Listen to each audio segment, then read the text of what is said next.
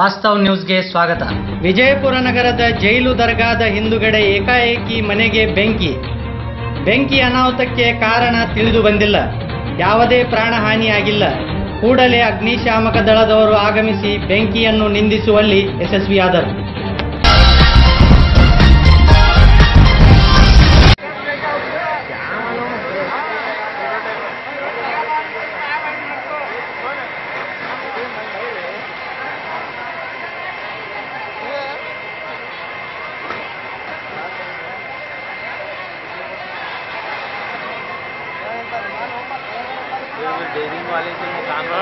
काढायला कुठं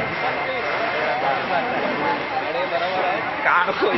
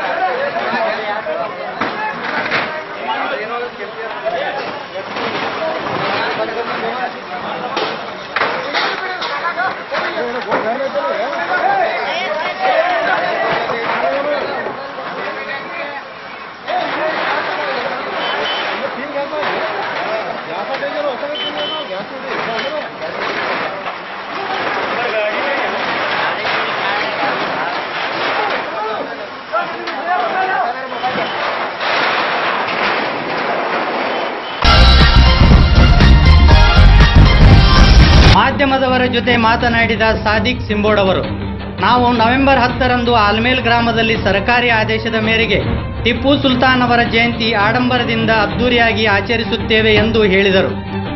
ಈ ಸಂದರ್ಭದಲ್ಲಿ ಆಲ್ಮೇಲ್ ಪಿಎಸ್ಐ ಹಾಗೂ ಇನ್ನಿತರ ಮುಖಂಡರು ಭಾಗವಹಿಸಿದ್ದರು. ಸರ್ಕಾರ ಘೋಷಣೆ ಆಗಿದೆ. ಹಾಗೂ ಅದೇ ರೀತಿ ನಾವು ಈ ಹತ್ತನೇ ತಾರೀಕಿಗೆ ಬ್ಲಡ್ ಡೊನೇಟ್ ಕ್ಯಾಂಪನ್ನು ಹಾಕ್ಬೇಕಂತ ಹೇಳಿ ನಾವೆಲ್ಲರೂ ಮೀಟಿಂಗ್ ಮಾಡಿದ್ವು. ಅದರಲ್ಲಿ ಇಂಡಿಯಲ್ಲಿ ಸಿ ಎಂ ಕಾರ್ಯಕ್ರಮ ಇದಿರೋದ್ರಿಂದ ನಾವು ಅದನ್ನು ಕ್ಯಾನ್ಸಲ್ ಮಾಡಿದ್ದೇವೆ. ಮುಂದಿನ ನಾವು ಕಾರ್ಯಕ್ರಮ ಮಾಡಲು,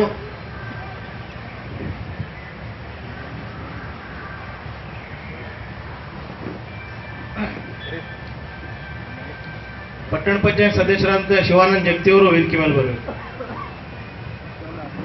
ನಾವು ನಾಳೆ ಈ ಟಿಪ್ಪು ಸುಲ್ತಾನ್ ಜಯಂತಿ ಅಂಗವಾಗಿ ನಾವೇನು ಕಾರ್ಯಕ್ರಮ ಮಾಡ್ತೀವಿ, ಆ ಸಲ ಪ್ರತಿ ವರ್ಷ ಕೂಡ ಬಹಳ ಅಚ್ಚುಕಟ್ಟುವಾಗಿ ಇಡೀ ಕರ್ನಾಟಕ, ಕರ್ನಾಟಕದಲ್ಲಿ ಎಲ್ಲೂ ಮಾಡಲ್ಲ. ಅಂತಲ್ಲಿ ನಾವು ಎಲ್ಲ ಹಿಂದೂ, ಮುಸಲ್ಮಾನ್ ಎಲ್ಲ ಎಲ್ಲ ಪಕ್ಷದವ್ರು ಸೇರ್ಕೊಂಡು, ಜೆ ಡಿ ಎಸ್ ಇರಲಿ ಬಿಜೆಪಿ ಇರಲಿ, ಕಾಂಗ್ರೆಸ್ದವ್ರು ಎಲ್ಲರೂ ಸೇರ್ಕೊಂಡು ನಾವು ಮಾಡ್ತೀವಿ. ನಮ್ಮಲ್ಲಿ ಕೂಡ ಪಕ್ಷಪಾತ ಇದೆ. ಆದ್ರೆ ನಮ್ಮಲ್ಲಿ ಪಕ್ಷ ಬರೀ ಇಲೆಕ್ಷನ್ ಬಂದಾಗ ಅಷ್ಟೇ ಪಕ್ಷ. ಬಿಜೆಪಿದವ್ರು ಇರಲಿ, ಜೆ ಡಿ ಎಸ್ದವ್ರು ಇರಲಿ, ಕಾಂಗ್ರೆಸ್ದವ್ರು ಇರಲಿ. ಯಾವುದೇ ಜಯಂತಿಗೆ ನಮ್ಮಲ್ಲಿ ಯಾವುದೇ ಪಕ್ಷದವ್ರು ವಿರೋಧ ಮಾಡೋದಿಲ್ಲ. ಎಲ್ಲರೂ ಸಪೋರ್ಟ್ ಮಾಡಿ ಇವತ್ತ ಡಾಕ್ಟರ್ ಬಾಬಾ ಸಾಹೇಬ್ ಅಂಬೇಡ್ಕರ್ ಅವ್ರ ಜಯಂತಿ ಆಗಲಿ, ಬಸವಣ್ಣನವ್ರ ಜಯಂತಿ ಆಗಲಿ, ಸ್ವಾಮಿ ವಿವೇಕಾನಂದ ಜಯಂತಿ ಆಗಲಿ, ಮತ್ತು ಗಣೇಶ ಚತುರ್ಥಿ ಹಬ್ಬ ಅಲ್ಲಿ ಎಲ್ಲ ಹಿಂದೂ ಮುಸಲ್ಮಾನ್ ಕೂಡಿ ಎಲ್ಲರೂ ಮಾಡ್ತೀವಿ. ಅದೇ ರೀತಿ ಟಿಪ್ಪು ಸುಲ್ತಾನ್ ಜಯಂತಿ ಕೂಡ ನಮಗಿಂತ ಹೆಚ್ಚು ಹೆಚ್- ಹೆಚ್ಚಿನ ಇದರಲ್ಲಿ ಪರ್ಮಿಷನ್ ತೊಗೊಳಕ್ಕೆ ನಾವು ಎಸ್ ಪಿ ಆಫೀಸ್ಗೆ ಹೋಗ್ತೀವಿ. ಅದರಲ್ಲಿ ನಾವು ಇಪ್ಪತ್ತು ಮಂದಿ ಆದ್ರೆ ಹದಿನೈದು ಮಂದಿ ಹದಿನೈದು ಮಂದಿ ನಮ್ಮಲ್ಲಿ ಹಿಂದೂ ಮಂದಿ ಇರ್ತಾರ. ನಾವು ಐದೇ ಮಂದಿ ಮುಸಲ್ಮಾನ್ ಇದಿರ್ತೀವಿ ನಾವು ನಿಮ್ಗೆ ಇದೊಂದು ನಮ್ಮ ಆಲ್ಮೇಲೆ ವಿಶೇಷತೆ ಅದೊಂದು ನಮ್ಗೆ ಬಹಳ ಹೆಮ್ಮೆನ ಖುಷಿ ಆಗ್ತದೆ. ಯಾಕಂದ್ರೆ ನಾವು ಅವರೇ ಪರ್ಮಿಷನ್ ಕೇಳಾಗ ಹೋಗ್ತಾರೆ ಈಗ ಎಲ್ಲಿನೂ ಕರ್ನಾಟಕದಲ್ಲಿ ಮೆರವಣಿಗೆ ಮಾಡಲು ಪರ್ಮಿಷನ್ ಲೀಗಲ್ವಾಗಿ ಕೊಡೋದಿಲ್ಲ. ಅಂದ್ರೂ ಕೂಡ ನಾವು ಸ್ವಲ್ಪ ಮೆರವಣಿಗೆ ಮಾಡ್ಕೊಂಡು ಹೋಗ್ತೀವಿ ಪ್ರತಿ ವರ್ಷ. ಈಗ ಅದಕ್ಕೆ ಆ ದಿನ ನಾವು ಟಿಪ್ಪು ಸುಲ್ತಾನ್ ಜಯಂತಿ ಅದಕ್ಕೆ ಅನ್ನೋದಿಲ್ಲ. ಟಿಪ್ಪು ಸುಲ್ತಾನ್ ಜಯಂತಿ ಅಂಗವಾಗಿ ಅದು ಒಂದು ನಾವು ಕಾರ್ಯಕ್ರಮ ಕವಾಲಿ ಕಾರ್ಯಕ್ರಮ, ಅದ್ರಲ್ಲಿ ಮೆರವಣಿಗೆ ಆಗಲಿ ಏನಾದ್ರು ನಾವು ಒಂದು ಕಾರ್ಯಕ್ರಮ, ಒಳ್ಳೆ ಕಾರ್ಯಕ್ರಮ ಮಾಡ್ಕೊಂಡು ಹೋಗ್ತೀವಿ. ಇದೊಂದು ಸಲ ನಾವು ಈ ವರ್ಷ, ಈಗ ನಮ್ಮ ಸಚಿವರಾದಂಥ ಡಾಕ್ಟರ್ ಎಂ ಪಿ ಪಾಟೀಲ್ ಅವ್ರಿಗೆ ನಾವು ಡೇಟ್ ಕೇಳಿದ್ದೀವಿ. ನಾಳೆ ಅವ್ರು ಡೇಟ್ ಕೊಡ್ತಾ ಕೊಡ್ತಾ ಇದ್ದಾರೆ. ಅದರಿಂದ ನಾವು ಸಾಮೂಹಿಕ ವಿವಾಹ ಮಾಡ್ಬೇಕಂತ ಹೇಳಿ ಎಲ್ಲರೂ ಕೂಡಿ ನಾವು ಒಂದು ಮೀಟಿಂಗ್ ಮಾಡಿದ್ದೀವಿ. ಅವ್ರು ಡೇಟ್ ಕೊಟ್ಟ ನಂತರ ನಾವು ಎಲ್ಲರಿಗೂ ಡೇಟ್ ತಿಳಿಸ್ತೀವಿ. ಆಗ ಮತ್ತು ಪಿ ಎಸ್ ಅವ್ರಿಗೂ ಡೇಟ್ ತಿಳಿಸ್ತೀವಿ. ಅದೆಲ್ಲ ಪರ್ಮಿಷನ್ ತಗೊಂಡು ಆಗಿ ಎಲ್ಲರೂ ಕೂಡಿ ಎಲ್ಲರೂ ಸೇರ್ಕೊಂಡು ಮಾಡ್ತೀವಿ. ಮತ್ತು ನಮ್ಮ ಟಿಪ್ಪು ಸುಲ್ತಾನ್ ಜಯಂತಿ ಹಾಗೂ ನಮ್ಮ ಟಿಪ್ಪು ಸುಲ್ತಾನ್ ಕಮಿಟಿದವರು ನಾವು ಯಾವ ಜಯಂತಿಗೂ ವಿರೋಧನು ಮಾಡೋದಿಲ್ಲ, ಎಲ್ಲ ಜೊತೆಯಲ್ಲಿ ಇರ್ತೀವಿ. ಅದೇ ರೀತಿ ನಮಗೂ ಕೂಡ, ನಮ್ಮ ಟಿಪ್ಪು ಸುಲ್ತಾನ್ ಜಯಂತಿಯಲ್ಲೂ ಕೂಡ ಎಲ್ಲರೂ ಸೇರ್ಕೊಂಡು ನಾವು ಮಾಡ್ತೀವಿ. ಈಗ ಸಿಂದಗಿಯಲ್ಲಿ ಗಣೇಶ ಚತುರ್ಥಿಯಲ್ಲಿ ದಾಂಧಲೆ ಆಗ್ತದ, ಟಿಪ್ಪು ಸುಲ್ತಾನ್ ಜಯಂತಿಯಲ್ಲೂ ದಾಂಧಲೆ ಆಗ್ತದ. ಅಲ್ಲಿ ಆದ್ರೆ ನಮ್ಮಲ್ಲಿ ಹಂಗಿಲ್ಲ. ನಮ್ಮಲ್ಲಿ ಎಲ್ಲಾ ಮುಸಲ್ಮಾನ್ ಯುವಕರು ಕೂಡಿ ಗಣ, ಗಣೇಶ ಚತುರ್ಥಿ ಮಾಡ್ತಾರ. ಎಲ್ಲಾ ಹಿಂದೂ ಮತ್ತು ದಲಿತ ಯುವಕರು ಕೂಡಿ, ಟಿಪ್ಪು ಸುಲ್ತಾನ್ ಜಯಂತಿಯನ್ನು ಆಚರಣೆ ಮಾಡ್ತಾರೆ. ಇದೊಂದು ಬಹಳ ಹೆಮ್ಮೆಯ ವಿಷಯ. ಇದೊಂದು ಆಲ್ಮೇಲ್ ಆಲ್ಮೇಲ್ ಗ್ರಾಮ ಅದರಲ್ಲಿ ಒಂದು ಮಾದರಿ ಆಗಿದೆ. ಎಲ್ಲ ಈಗ ಎಸ್ ಪಿ ಆಫೀಸ್ನಲ್ಲಿ ಮೀಟಿಂಗ್ ಆದಾಗ ಕೂಡ ಅವರು ಕೂಡ ಡಿಪಾರ್ಟ್ಮೆಂಟ್ ದವ್ರು ಚರ್ಚೆ ಮಾಡ್ತಾರೆ. ಟಿಪ್ಪು ಸುಲ್ತಾನ್ ಜಯಂತಿ ಆಗಲಿ, ಗಣೇಶ ಚತುರ್ಥಿ ಆಗಲಿ, ಆಲ್ಮೇಲ್ದಲ್ಲಿ ಹ್ಯಾಂಗ್ ಮಾಡ್ತಾರೆ, ಎಲ್ಲರೂ ಕೂಡ ಹ್ಯಾಂಗ್ ಮಾಡಬೇಕು? ಇಂಥ ಒಂದು ಸಂದೇಶ ನಮ್ಮ ಊರಿಂದ ಹೊಟ್ಟಿದೆ ಆದ್ರೂ ನಾವು ಈಗ ಡೇಟ್ ಫಿಕ್ಸ್ ಮಾಡಿ, ನಾವು ಹತ್ತನೇ ತಾರೀಕಿಗೆ ಏನದ ನಾವು ಎಲ್ಲ ನಮ್ಮ ಟಿಪ್ಪು ಸುಲ್ತಾನ್ ಕಮಿಟಿ ಹಾಗೂ ಊರ ವತಿಯಿಂದ ಎಲ್ಲ ಪಟ್ಟಣ ಪಂಚಾಯತ್ ಸದಸ್ಯರು ಹಾಗೂ ಎಲ್ಲ ಊರ ಊರ ಊರಿಯ, ಊರಿನ ಗಣ್ಯ ವ್ಯಕ್ತಿಯ ನೇತೃತ್ವದಲ್ಲಿ ಭಾವಚಿತ್ರ ಪೂಜೆಯನ್ನು ನಾವು ಒಂದು ಟಿಪ್ಪು ಸುಲ್, ಟಿಪ್ಪು ಸರ್ಕಲ್ ಅಲ್ಲಿ ಮಾಡ್ತಾ ಇದ್ದೇವೆ. ದಯವಿಟ್ಟು ಅದರಲ್ಲಿ ಎಲ್ಲರೂ ಭಾಗಿಯಾಗಬೇಕು, ಎಲ್ಲರೂ ಸಹಕಾರ ಬೇಕು. ಅಂತ ಅಲ್ಲಿಯನ್ನು ನಾವು ದೊಡ್ಡ ಫಂಕ್ಷನ್ ಮೆರವಣಿಗೆ ಮಾಡುವುದಿಲ್ಲ.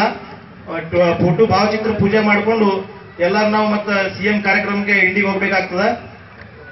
ಈಗ ನಾಳೆ ನಮಗೆ ಎಂ ಬಿ ಪಾಟೀಲ್ ಅವರು ಡೇಟ್ ಕೊಟ್ಟ ನಂತರ ಸಾಮೂಹಿಕ ವಿವಾಹ ಅಲ್ಲಿ ಒಂದು ಸ್ವಲ್ಪ ನಾವು ಮೆರವಣಿಗೆ ಮಾಡೇ ಮಾಡ್ತೀವಿ. ಈಗ ಅದು ಲೀಗಲ್ ಆಗಿ ಡಿಪಾರ್ಟ್ಮೆಂಟ್ ಕಡೆಯಿಂದ ಪರ್ಮಿಷನ್ ಕೊಡ್ಲಾಕ್ ಬರಲ್ಲ. ಈ ಗಣಪತಿಗಾದ್ರೂ, ಗಣೇಶ ಚತುರ್ಥಿಗಾದ್ರೂ ನಾವೇ ಪರ್ಮಿಷನ್ ತೊಗೊಂಡಿವಿ. ಸಾವಿರ ಪರ್ಮಿಷನ್ ಇಲ್ಲ ಅಂದ್ರೂ ನಾವೇ ಇದ್ರ ಮ್ಯಾಗ ಮಾಡ್ಕೊತ ಹೋಗಿವಿ. ಹಂಗೂ ಕೂಡ ಟಿಪ್ಪು ಸುಲ್ತಾನ್ ಜಯಂತಿ ನಮ್ಮ ಅಶೋಕ್ ಕೊಳ್ಳೋರಾಗಲಿ ನಮ್ಮ ರಮೇಶ್ ಮಾ ಮಂಟೂರವ್ರು ಎಲ್ಲಾರು ಕೂಡ ಸಹಕಾರ ಮಾಡಿ ಅವ್ರೆಲ್ಲಾರು ನಮ್ಮ ಜೊತೆಲಿ ಇರ್ತಾರ ಎಲ್ಲಾರು ಕೂಡಿ ಒಂದಾಗಿ ಒಕ್ಕಟ್ಟಾಗಿ ಮಾಡೋಣ ಅಂತ ಹೇಳಿ ಎರಡು ಮಾತು ಮುಗಿಸ್ತೀನಿ. ಜೈ ಹಿಂದ್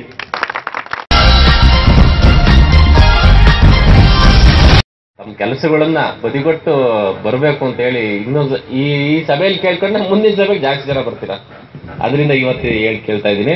ಒಂದೇದು, ಟಿಪ್ಪು ಜಯಂತಿ ಕಾರ್ಯಕ್ರಮಕ್ಕೆ ಯಾರಾದರೂ ಅಡ್ಡಿಪಡಿಸಿದ್ರೆ ಅದು ಸರ್ಕಾರಿ ಕೆಲಸಕ್ಕೆ ಅಡ್ಡಿಪಡಿಸಿದ ರೀತಿಯಾಗಿ ಆದ್ರಿಂದ ಅವ್ರ ಕಾನೂನು ಅಡಿಯಲ್ಲಿ ಕ್ರಮವನ್ನು ಕೈಗೊಳ್ಳಬೇಕಾಗ್ತದೆ.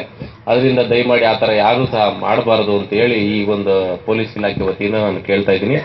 ಅದೇ ರೀತಿಯಾಗಿ ಅವತ್ತಿನ ದಿವಸ ಯಾವುದೇ ಈ ಕೆಲವೊಂದು ಕಾರ್ಯಕ್ರಮಗಳು ಏನು ಮಾಡ್ತೀರಾ, ಅವತ್ತಿನ ದಿವಸ ಯಾವುದೇ ಕಾರಣಕ್ಕೂ ಮೆರವಣಿಗೆಯನ್ನ ನೀಡ್ ನೀಡಬಾರ್ದು ಅಂತ ಹೇಳಿ ಸರ್ಕಾರದಿಂದ ಆದೇಶ ಆಗಿದೆ. ಅದರಿಂದ ಯಾರಿಗೂ ಸಹ ಮೆರವಣಿಗೆಯನ್ನು ಮಾಡ್ತಕ್ಕಂಥದ್ದು ಸಹ ನಿಷೇಧವನ್ನವಾಗಿದೆ ಈ ಸರ್ಕಾರಿ ಕೆಲಸಕ್ಕೆ ಅಡ್ಡಿಪಡಿಸಿ ಯಾವ ರೀತಿಯಾಗಿ ಕಾನೂನು ರೀತಿಯಾಗಿ ಕ್ರಮ ಕೈಗೊಳ್ತೀವೋ ಮೆರವಣಿಗೆಯನ್ನು ಮಾಡಿದರೆ ಅವ್ರ ಮೇಲೂ ಸಹ ಅದೇ ರೀತಿಯಾಗಿ ಕ್ರಮವನ್ನು ಕೈಗೊಳ್ಳಬೇಕಾಗ್ತದೆ. ಎರಡನೇದು. ಮೂರನೇದು, ಅವತ್ತಿನ ದಿವಸ ಯಾವುದೇ ತರ ಮೈಕ್ ಪರ್ಮಿಷನ್ ಆಗಲಿ ಅಥವಾ ಇನ್ನೊಂದಾಗ್ಲಿ ಕೊಡೋದಿಲ್ಲ. ಅದು ನಿಷೇಧ ಇದೆ. ಓನ್ಲಿ ಸರ್ಕಾರಿ ಕಾರ್ಯಕ್ರಮ ಆಗಿರೋದ್ರಿಂದ ಸರ್ಕಾರ